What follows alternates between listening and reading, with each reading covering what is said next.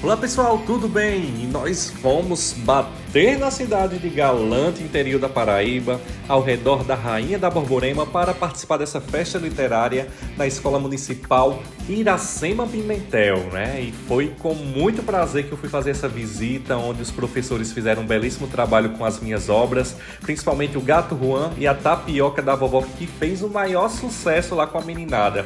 Recebi muito carinho dos professores, de toda a equipe de funcionários e dos alunos nem se fala, né? Foi muito abraço, foi muito bacana com essa galerinha aí que está aprendendo a ler graças às nossas obras.